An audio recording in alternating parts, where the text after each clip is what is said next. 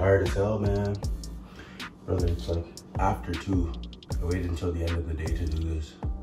But the things I ended up staying out way longer than I expected. But like I always say, man, job's not finished. We gotta get to work, man. So we're here. 30 more.